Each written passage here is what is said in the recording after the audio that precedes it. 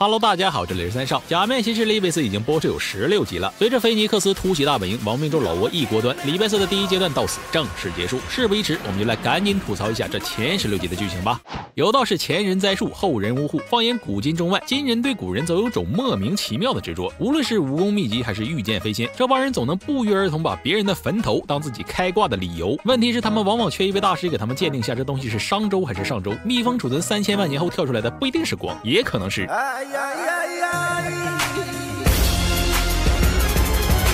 所以这次的世界一如往常，镜头给到我们倒斗界的欧美捞逼分布。不过这次遗迹中出土的不是一条腰带或是一只铁盒，而是能与恶魔进行契约的诡异印章。以此为据，科学家开发出了全心全意的假面骑士系统。到了现在，家族澡堂首席清洁工五十岚一辉某天发现自己觉醒了 Stand Power，以下是他觉醒时刻的对话。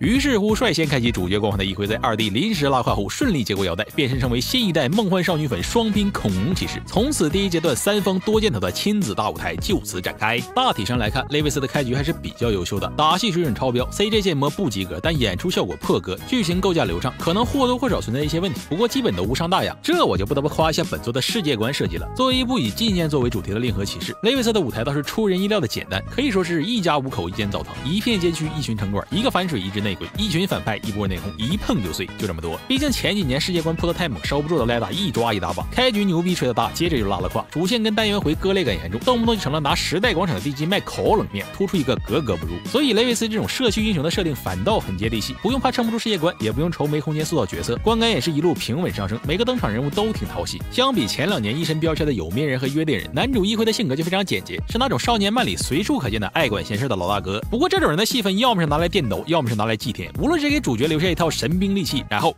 或者带主角打个越级 BOSS，然后，又或者帮主角刺探个绝密情报，然后。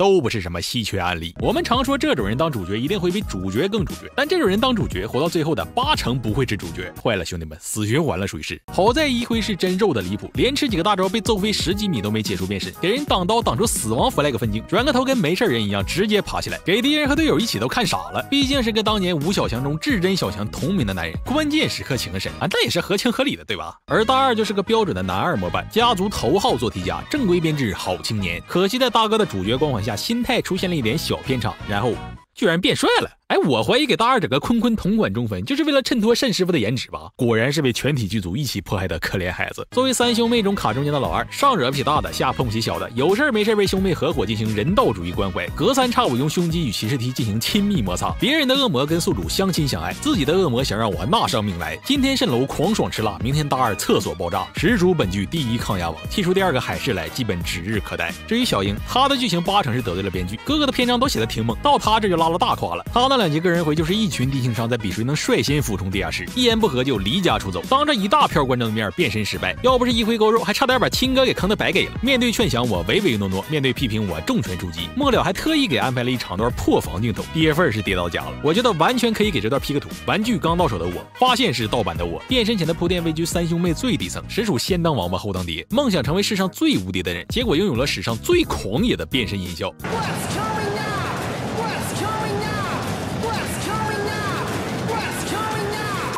虽然最后顺利成为三级，但总觉得他除了打架，缺少点骑士的内核。目前看来，塑造的并不算出色，期待一手二阶段表现。门田这人就比较简单，整个就一二代不破，身边的人要么是偷税，要么是黑化，要么是内鬼，只有自己铁好人一个，天天被队友的反人类操作整得一脸懵逼，嘴里总喊着要赌命，实际上也真的为了正义在赌命。据说复习的戏份都是演员自己争取来的，可以说是非常励志了。而戏里的待遇只能说是天将降大任于斯人，一身皮套棱棱角角的，好像不太好滚，实际上躺的比谁都多，顶着四级的称号，吃着二级的待遇，一。人承担起前期所有的张口闭眼戏份，自己被自己的腰带干飞，傲娇看了都直呼内行。而且是没有一位五十岚家骑士变身，就会有一只门田被揍到当场献祭。所谓天理昭昭，道法无常，因果轮回皆为虚妄。谨记众生悲苦，严防骑士骗局。没有买卖就没有坑开。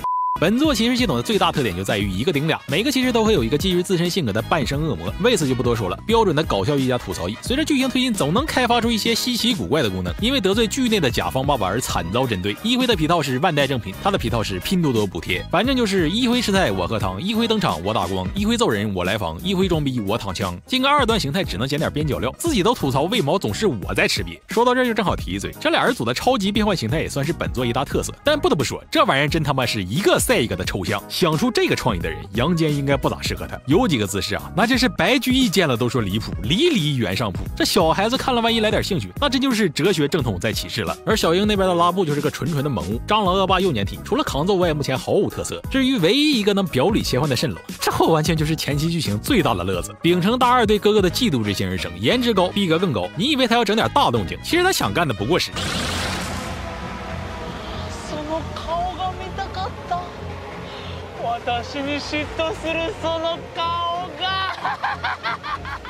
而这位备受期待的慎师傅，一操作起来就是一坨屎。最被人诟病的就是蜃楼的攻击力问题，随时随地无限开大，小匕首一拉，漫天刀光，给老哥揍的是连滚带骨头，完了愣是一点事儿没有，打击特效满点，造成伤害零点。慎师傅别刮了，别刮了，再刮后背都给你刮红了。卡面雷达设计师，你知道我慎师傅的痛吗？要不是有骑士贴的保底伤害，恐怕真的很难收场。最搞的是第八集，各种苦心故意给老哥整波大的，本来都要计划通了，结果被自己白给对面的印章打到自己白给，怎么想？的呀，沈师傅，这太丢人了。估计他自己也意识到这个问题，后来再登场直接邪性化。我是恶人，你敢请求我，这是对我的侮辱。我本想大声斥责，但他踢的实在是太疼了。鸡，而且这种蹭得类的诞生理由，按定律迟早都会变成胸控。不信咱就等着。本作打着骑士五十周年纪念作的旗号，处处致敬前辈，但比起三年前那位致敬前辈的前辈，可是强了不止一个层级。无论皮套、演技还是剧情，全都把失望按在地上摩擦。虽然开播前人人都吐槽着猛男粉配色和奇葩脸型，等开播后，咱马上再一次见识到了东大妈精湛的。PUA 技术，几套基因组砸下来，鸦雀无声。破壳暴龙一出，直接引得一片真香。果然，大家嘴上不说，审美早就已经是东大妈的形状了。除了无论怎么看都越看越难看的真德皮套，想不起来的其实也就这两套。其实以十王为基础的万龙基因组，我就想问问，夸夸前面锤这么大一表链，你不嫌硌得慌啊？道具组，你就不怕升天打完这场就再起不能了吗？这他妈可是终身大事啊！还有一个 Z 的胡狼，你那看上去很会打牌的大波浪呢，咋就剩俩刘海了？灵魂没有了？他终究是被无情的生活磨平了棱角啊！当然，利维斯的卖玩具力度虽然丝毫不逊于前几座，甚至还多了好几套变形金刚，但分配力度还算合理。该秀皮套就秀皮套，该走剧情就收住，认真走剧情。带货和讲故事达成了一个不错的平衡。其实本作大部分时间都在走主线，单元剧的成分比较少，涉足的内容较多，但都浅尝辄止，没法细品。像是那个威胁证人徇私舞弊的律师，如果像李狗海里发散一下，感觉也能蛮有深意。我也可以理解，一集就二十四分钟，还要插一大堆内容，忙都忙不过来。有利益就不错了，还要啥自行车？主线方面倒是奇招频出，各种小高潮，一会儿像少年漫，一会儿像谍战片，一会儿像悬疑剧，一会儿像日常番。都让他给懂完了，还完全不觉得突兀，这就是前面说的世界观的方便之处。主线是真的好写，认真写写也是真的好看。唯一需要牺牲的就是反派的逼格，把他 Who care？说到本作的反派亡命咒，这帮人可真是纯正的笑话。我在个迪厅领着一帮男男女女夜夜狂嗨，结果发现除了制造点杂兵，根本不能用这群信徒干什么。热衷于寻找各种菜的一逼的路人扰乱社会治安，回回都是一个一个送，跟顺丰快递一样，可持续呢给主角倒贴新形态。人家慎师傅都知道整个三人小队一起出击，你们这仨人大脑拼起来，居然愣是凑不出慎师傅半个。要说这组织干部本来也没几个，一个从小就开始洗脑的童养媳，一个没点二五八万还想搞野心的秧歌队，一个满脸智慧的还天天装死卖鲁人，以及几个莫名其妙就排队送走的野生猪队友。好不容易集合开次会，居然还是搞窝里反，就这破组织，那真是曹丕老婆进菜园，真鸡拔菜。因此礼拜四前期剧情也是轻松到姥姥家，打起架来永远是主角战力比反派多，随便整个新形态都是有手就行，来多少躺多少，回回都是正义的巡游。你这反派当的也太失败了，号称基地位置绝密，结果是个人来，你们都带回泉水逛一圈，咋的？是外面的星巴克不够上流，还是金拱门的 WiFi 不够迅速？让你们搁这儿，我家大门常打开，开放怀抱等你。现在想想，大二还苦哈哈的挨了一脚，才从慎师傅嘴里跳出情报。那随便找个之前登场的配角不就得了吗？就这药丸组织，居然还能坚持到十六级才被一锅端，只能说这就是人文社会给他们的慈悲吧。据说后面绿玉哥马上要带人卷土重来，我只希望他能给点作用，不然这亡命重也忒窝囊废了。现在看来，礼拜四的整体剧情是没什么问题的，伏笔埋了一大堆，照片上消失的一回，父子加反派仨人凑一个心脏。BOSS 怎么复活？鱼跃人的真实目的？阿基雷拉什么时候反水？都是可预见的，回收就是爆点。二阶段才是真正的高潮。至于俯冲地下室这件事，我就不参与了。你们还是找屌人为妙。总体来说，我对礼拜四的后续还是保持乐观的。不过听说下个月木下编剧不会跟全程，版本也要上来打人赚外快。总之，世界观展开后，希望能好好稳住，上下线都低不到哪儿去的。那么，以上就是李维斯开篇吐槽的全部内容，我可没有毒奶啊，不关我事，这叫谨慎评价。最后，吐槽完梗仅供娱乐，尊重作品，理性讨论。喜欢这个视频或者想看更多特摄内容的话，就请点击关注按钮。无论新老观众都请长按大拇指，一键三连。我们下期视频不见不散。